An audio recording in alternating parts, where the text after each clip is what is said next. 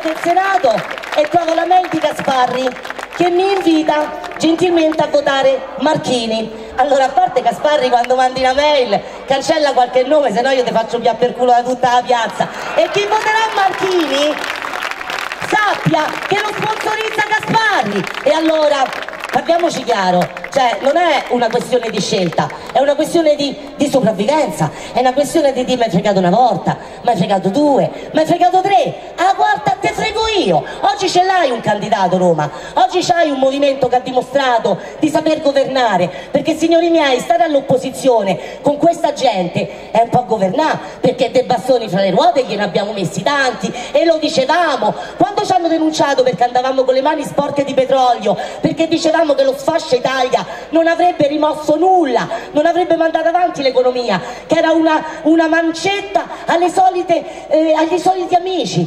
Dopo un paio d'anni, no un paio d'anni magari, dopo un paio di mesi si scopre che tutta quella roba serviva per fidanzato del ministro, per la Total, perché ci fanno pagare pure il tubo e tutto questo ce lo lasciamo passare così sulle spalle. Eh? Facciamo finta che non è successo niente. Guardiamo, guardiamo la televisione, guardiamo Barbara Russo, eh? guardiamo la RAI che te la fanno pagare che è stata eh, militarizzata, del più, vedi solamente, vedi solamente Renzi, anzi lo vedevi, perché adesso ha capito che sta a perdere un po' dei consensi, no? Allora è diventato che se vinceva il sì avrebbe vinto lui, adesso se vince il sì ha perso il movimento perché sta cercando in qualche maniera di usarci anche per fomentare le persone. Ma quando vi dicono il movimento no non lo voto perché Beppe Grillo strilla perché la taverna è coatta ma gli domandate ma perché allora voti quello che è mafioso voti quello che ti ha rubato voti quello che si è mangiato tutto il paese eh?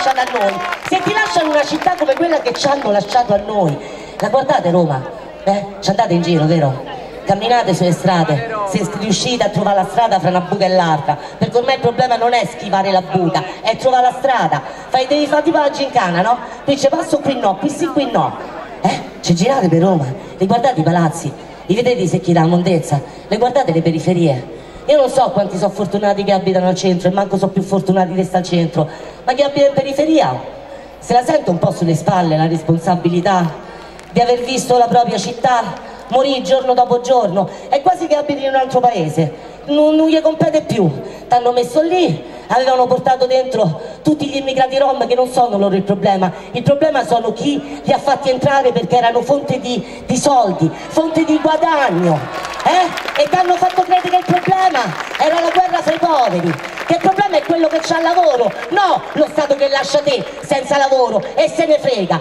Gli 80 euro furono scientificamente dati a quella fascia di persone che li votava dagli 8.000 ai 26.000.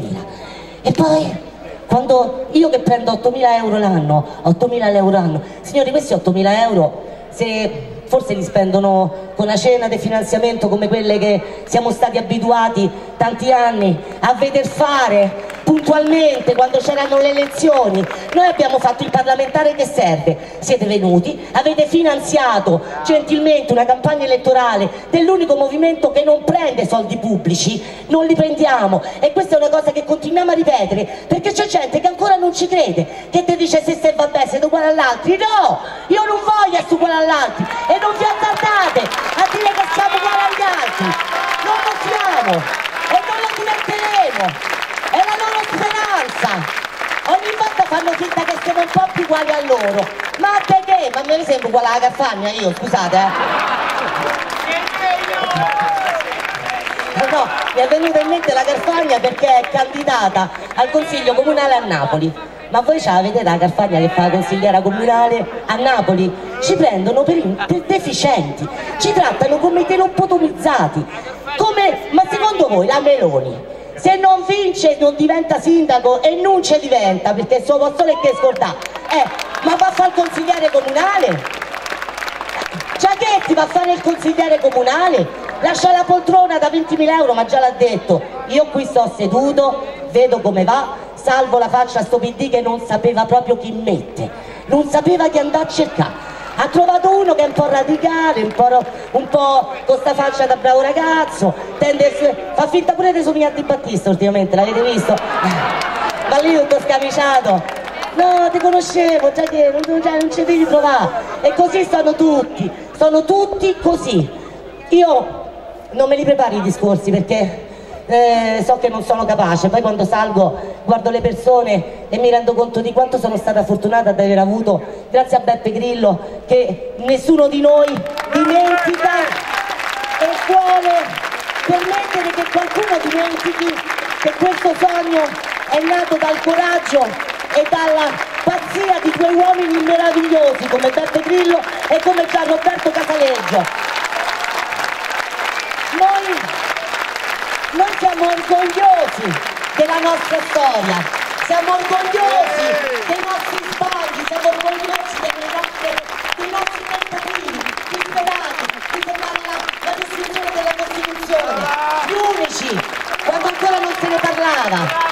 Per l'articolo 138 siamo saliti sui tetti e abbiamo detto che non si poteva fare, sono andati avanti come treni, sono andati avanti, mentre c'era una mozione di sfiducia approvavano la riforma costituzionale, la schiforma costituzionale. E voi siete chiamati a fare un, un processo importante che è quello di cominciare a non dimenticare. Continuate a ricordare tutto quello che in 40 anni hanno fatto. Da Rutelli a Veltroni a Alemanno a Marino. Io vorrei avere qui sotto qualcuno che mi dice cosa hanno fatto queste persone per la nostra città sono 40 anni che se la stanno mangiando e allora un'occasione una non a noi perché se vince il Movimento 5 Stelle dopo la vittoria saremo, sarete voi a governare questa è la vera sfida. Ogni volta dovete essere voi a sentirvi parte integrante del cambiamento. Quando scegliete di non parcheggiare in doppia fila, quando scegliete di non buttare la carta in terra, quando scegliete l'onestà,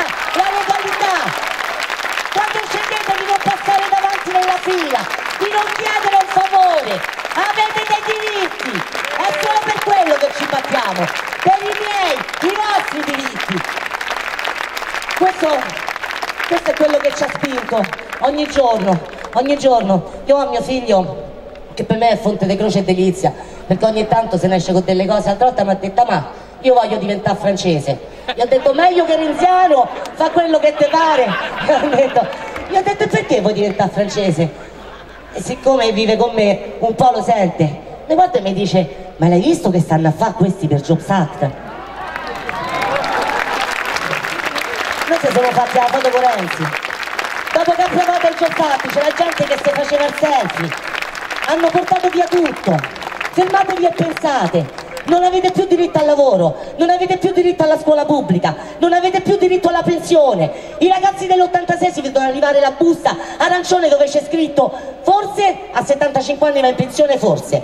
Te do forse 400 euro, può darsi ti posso dire che è diminuita l'aspettativa di vita. In Italia è diminuita l'aspettativa di vita. Vuol dire che le persone non si curano più. Vuol dire che ci sono 10 milioni di poveri che fanno finta che non esistono. Ricordatevi gli 80 euro da 8 a 26 quelli che stavano senza niente non hanno avuto niente. Quelli che gliel'hanno dati si sono ripresi. Questo è il paese che viviamo. Queste sono le persone che ci governano queste sono quelle alle quali ancora qualcuno vuole dare un voto. Ma perché? Non mi dite perché votate il Movimento 5 Stelle, chiedete perché votano gli altri. Perché? Qual è l'unico motivo? C'è qualche convenienza? E allora avete l'opportunità ed è veramente un momento storico questo, uno spartiacque. Non, è detto che avremo ancora occasioni per poter essere un paese libero, un paese che sceglie, perché se passa la riforma costituzionale è previsto, eh, veramente mi ricordava prima Irola, sembra che se vanno mangiare pure il referendum su monarchia o repubblica, vanno riportare la monarchia, tanto a loro dei referendum gliene frega niente, tipo quello sull'acqua, tipo quello sui finanziamenti ai partiti, fra un po' si scorderanno pure che siamo in una repubblica e rifaranno una monarchia, solo che stavolta il re è tosto, eh? perché un re come come Re Renzi sarebbe la fine di quello che è lo Stato sociale è una persona legata a mani e piedi ai poteri forti, è una persona che lo dimostra in ogni scelta che fa, è una persona che probabilmente ha sopra di lui ancora qualcuno più, più intelligente perché manco per fare questo disastro ci ha avuto l'intelligenza giusta. E allora Virginia Raggi è la persona che il Movimento 5 Stelle ha democraticamente votato, scelto e portato avanti tutti insieme. Noi non siamo eterodiretti, noi siamo una squadra. Noi siamo una squadra e questo fa paura perché loro sono tanti piccoli uomini, tanti piccoli uomini da soli. Noi siamo un popolo e un popolo quando si ribella